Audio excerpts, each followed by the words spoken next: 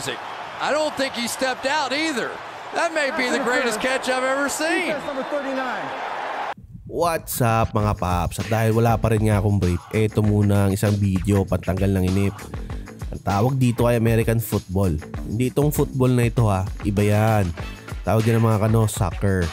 Hindi rito rugby ha. Ito yun. I mean, I mean, ito pala, ito pala. So paano nga ba laruin ng American football? Halika, ituro ko muna sa inyo para hindi puro basketball sa banyo alam nyo.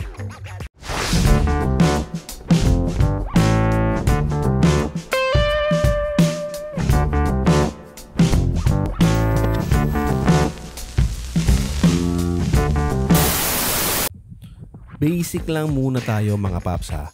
Yung scoring lang muna pag-uusapan natin. Ang American football ay nilalaro sa isang football field na may haba na isandaang yarda.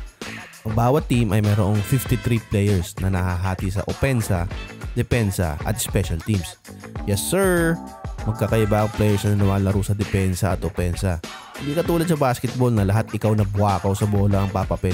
Pati tawag ng referee makarunungan ka pa. Sa bawat play ay mayroon lamang 11 players na maglalaro para sa opensa at 11 players din sa kalaban o ang depensa. Ang goal ng laro ay makascore sa pamamagitan ng pagtawid ng bola sa end zone ng kalaban na tinatawag nating touchdown. At may katumbas ito ng 6 na puntos. After ng touchdown ay may chance pang umiscore ang opensa sa pamamagitan ng pagsipa ng bola sa upright o yung tinatawag na point after touchdown or PAT na may katumbas naman itong 1 point. Or maaari din silang umiscore uli ng touchdown mula sa 2-yard line o tinatawag na 2-point conversion. Ito ay may katumbas na 2 points kapag naging successful.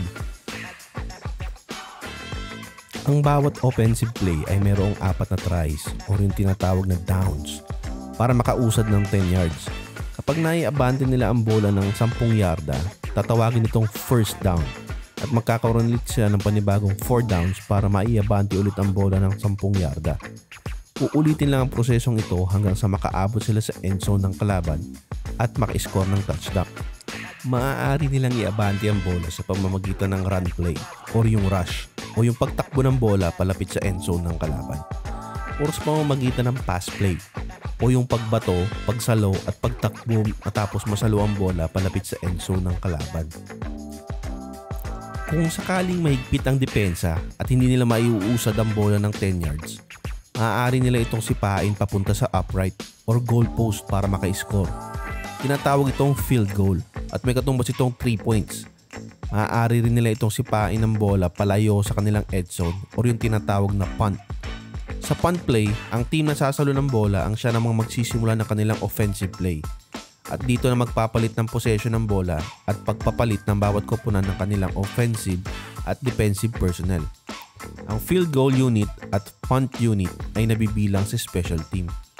Ang goal ng depensa ay mapigilan ng offensive team na mailapit ang bola sa kanilang end zone. Magagawa nila ito sa pamamagitan ng pagtackle o pagsunggab sa may dala ng bola.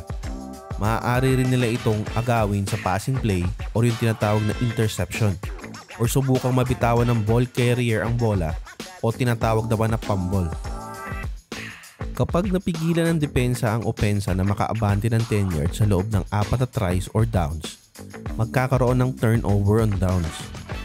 Kung sakaling matakil ng depensa ang opensa paatras sa loob ng sarili nitong end zone, tatawagin itong safety at bibigyan ng 2 points ang defending team. Ang turnover on downs, fumble recovery at interception ng depensa ay hudyat ng pagpapalit ng possession ng bola at pagpapalit ng offensive at defensive personnel sa field. Ang isang American football game ay nahahati sa apat na quarters. Bawat quarters ay mayroong 15 minuto. Pagkatapos ng game clock, ang may pinakamaraming puntos ang siyang mananalo. Kung sakaling matapos ang laro at tabla ang score ng bawat team, magkakaroon tayo ng overtime na 10 minuto.